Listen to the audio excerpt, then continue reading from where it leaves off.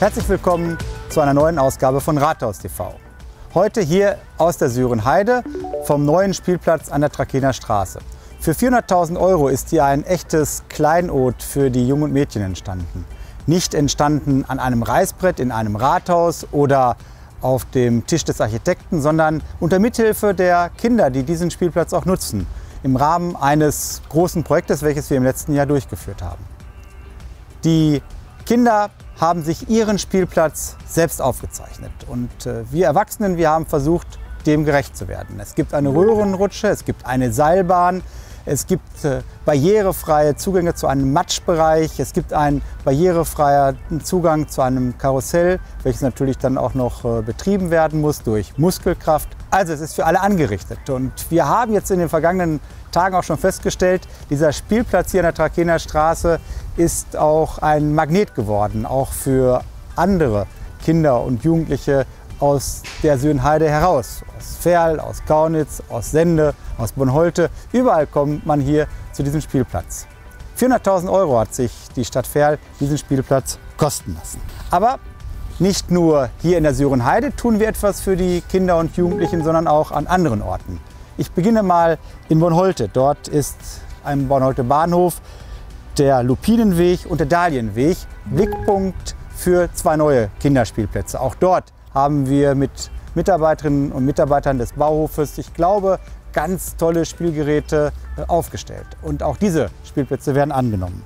Weitere Spielplätze sind in Planung. Das ist sozusagen ein Dauerprojekt hier in der Stadt Ferl. Jeden Monat nicht, aber jedes Jahr ein, zwei Spielplätze und dann sind wir irgendwann auch durch. Und die Kinder werden älter, also dürfen wir auch nicht die Jugendlichen vernachlässigen. Dazu beginnen jetzt in Kürze die Bauarbeiten am Freibad.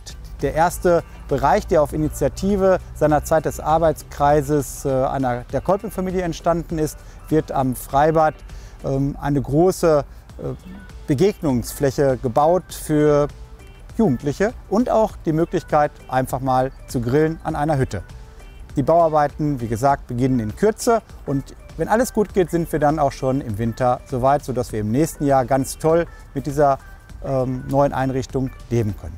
Ein weiterer Spielplatz, nein, ich muss sagen, ein weiterer Gymnastik- oder ein weiteres Freizeitgelände ähm, findet äh, derzeit in der Planung statt am Schmiedestrand. Auch äh, dort beginnt die Ausschreibung in Kürze und dann werden wir im nächsten Jahr auch dort vieles Neues erleben, was Sport und Freizeit anbetrifft. Also an vielen Stellen sind wir hier in der Stadt unterwegs. Wir bauen aber auch nicht nur für Kinder und Jugendliche, sondern wir bauen auch für junge Erwachsene, insbesondere für junge Erwachsene, die ein Handicap haben. Und deswegen bin ich sehr stolz darauf, dass eigentlich eines meiner Herzensprojekte jetzt wirklich auch in die Umsetzungsphase ist. Äh, ich spreche davon, dass in dem Bereich des ehemaligen DRK-Heimes, das ist an der Österwieher Straße, jetzt dieses DRK-Heim abgerissen wird und dort äh, Wohngruppen für behinderte junge Menschen errichtet werden.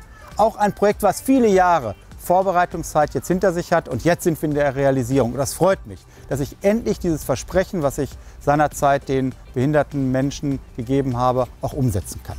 Unweit von diesem Neubauprojekt ähm, am Bühlbusch befindet sich auch unsere Feldscheune, die wir jetzt vor kurzem erworben haben.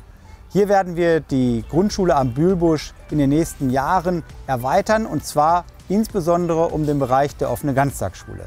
Wir konnten die Verhandlungen mit, den, mit der Eigentümerfamilie zu einem Ende bringen und sind jetzt ja, glücklicher Eigentümer als Stadt Ferl hier dieser Feldscheune.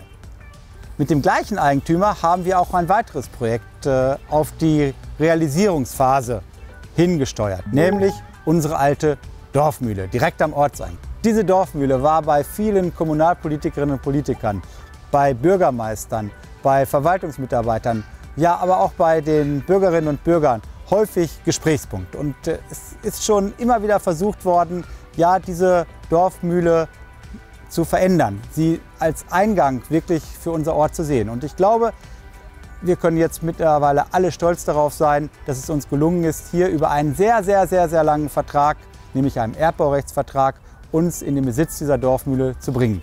Das heißt, wir in der Stadt Ferl werden künftig äh, über diese Dorfmühle verfügen können. Bis dahin, bis da aber auch da äh, wieder ein Zugang geschaffen werden kann, bedarf es auch wieder einer Vorbereitungszeit. Wir haben in den letzten Jahren gelernt, das geht nicht von jetzt auf gleich, sondern es muss sehr, sehr ausführlich geplant werden, es muss äh, durchdacht werden und wir überlegen dann, ob wir an diese Dorfmühle noch weitere Dinge sozusagen andocken. Das könnte zum Beispiel Bank sein, das könnte zum Beispiel auch ein MINT-Technikum sein oder ein Gründerzentrum. Aber dazu gibt es noch keine konkreten Vorstellungen, was da jetzt genau passieren wird. Wichtig ist im Augenblick, wir sind ja im Besitz dieser Dorfmühle und können mit den Planungen beginnen. Die Sommerferien stehen vor der Tür. Aber bis es soweit ist, wird auch noch in einigen Vereinen daran geplant, wie wird es danach weitergehen. Wie können wir unser Vereinsleben nach anderthalb Jahren Pause wieder mit Leben erfüllen? Wie können wir es aktiv gestalten? Wir als Stadt Ferl wollen da auch einen Beitrag leisten. Aus diesem Grunde habe ich die Vereine und Organisationen eingeladen, nach den Sommerferien einen Markt der Möglichkeiten zu organisieren. Wir wollen mal schauen, ob wir uns alle gemeinsam vorstellen können an einem Tag und äh, wieder auf die Vereinsarbeit aufmerksam machen. Die Idee ist, den Vereinen die Möglichkeit zu geben, sich vorzustellen, sich darzustellen, wie sie auch ihre künftige Arbeit wieder aufnehmen und gestalten wollen.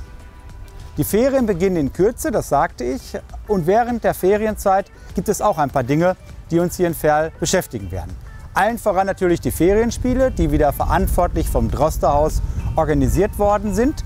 Es machen aber auch wieder viele Vereine und Organisationen mit. In diesem Jahr können wir die Ferienspiele wieder deutlich besser anbieten, als es noch im letzten Jahr der Fall war. Wir werden die Ferienzeit aber auch dazu nutzen, einmal die Bibliothek, die in den letzten Wochen und Monaten umgebaut wurde, auf Vordermann zu bringen, nämlich einzurichten. Äh, wir ziehen zurück sozusagen aus dem Provisorium des ehemaligen Steakhauses wieder zurück in die Bibliothek.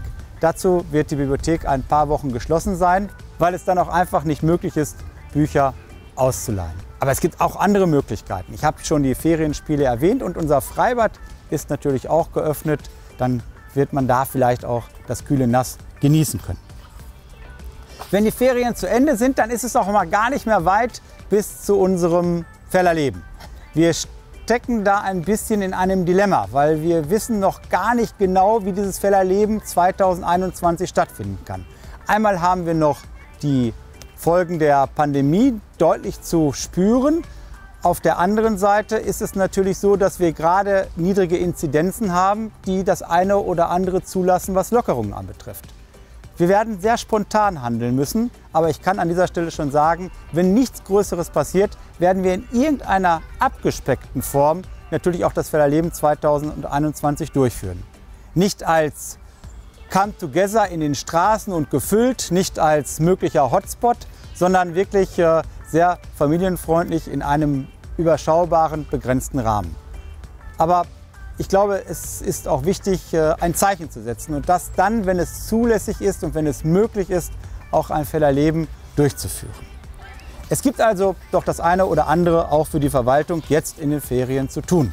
Sie, liebe Bürgerinnen und Bürger, liebe Zuschauerinnen und Zuschauer, haben jetzt zum ganz überwiegenden Teil wahrscheinlich Ferien. Sie haben sie geplant ähm, und wollen sie genießen. Ja, das wünsche ich Ihnen auf jeden Fall. Ähm, lehnen Sie sich ein bisschen zurück, genießen Sie die freie Zeit, genießen Sie diesen Sommer und dazu wünsche ich Ihnen alles Gute. Bitte bleiben Sie gesund und kommen Sie nach den Sommerferien gut erholt wieder zurück. Oder bleiben Sie gut erholt in der Stadt Ferl. In diesem Sinne bin ich Ihr Bürgermeister Michael Eske.